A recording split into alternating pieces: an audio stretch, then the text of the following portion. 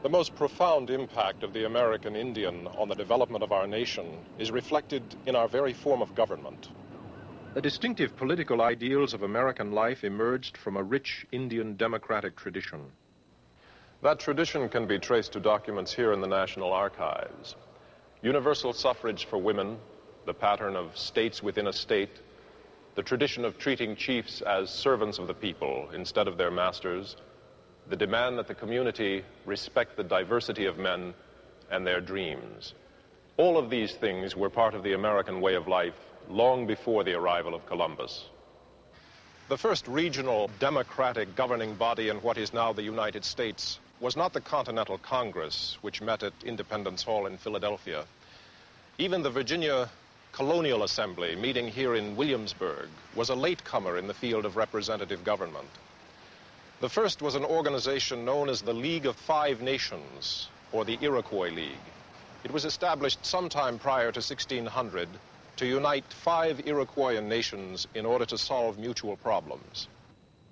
This Iroquois beaded belt tells the story of the member nations uniting. They adopted an oral constitution and a governing council of 50 representatives. The council dealt with items affecting the entire group, but left purely tribal matters up to each individual Iroquois nation.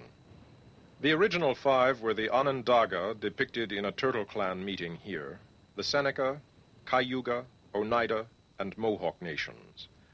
104 years after its formation, the League added a sixth nation, the Tuscarora. Women had a strong voice in the Iroquois society. The clan mother selected the chiefs and was the most powerful figure in a strong local form of government. Iroquois women owned the family crops and houses and had voting rights. Although outnumbered by rival Algonquian tribes, the Iroquois became the dominant force in the Northeast following the formation of the Iroquois League. That league continues to operate today. Artist Oren Lyons is a sub-chief in the Turtle Clan in the Onondaga Nation. He teaches Native American studies at Buffalo University. The Onondaga chief says the U.S. governmental ideals can be traced to the Iroquois League. Prior to drawing up his Albany Plan of Union for the colonies in 1754, Benjamin Franklin requested a meeting with the Iroquois League chiefs to learn more about the Indian Confederacy. Chief Lyons recounts the substance of the meeting between colonial leaders and the Iroquois chiefs. And it was suggested at that time by an Onondaga chief that they, the colonies, unite uh, in a form of government that was similar to ours, that would uh, represent the people. The format is very ancient, and this is the format that was taken by the 13 colonies originally, the Articles of Confederation. There is ample evidence that Franklin was influenced by the Iroquois Confederacy when he did draw up the Albany Plan. Moreover, that plan was followed essentially more than 20 years later in the Articles of Confederation, the forerunner of the United States Constitution. Ben Franklin put it this way in his argument for colonial union.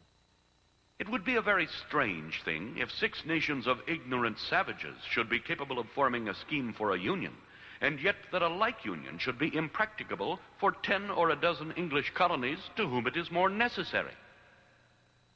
In addition to Franklin, Thomas Jefferson and George Washington were familiar with the Iroquois League. The founders of our nation were facing the problem of uniting sovereign states when they wrote the United States Constitution. And they did adopt ideas from the Iroquois League. Well, immediately, always they were warned. Ray Fadden, a Mohawk, is curator of the Six Nations Museum in Onchiota, New York. An expert on the Iroquois Confederacy, Fadden says our form of government was not born from European ideals. Over here in America, those chiefs were representatives, something like Congress, I suppose. They simply represented their clans, and since everyone belonged to a clan, in plain English, they represented their people. Were put in office by their people to represent them in their government.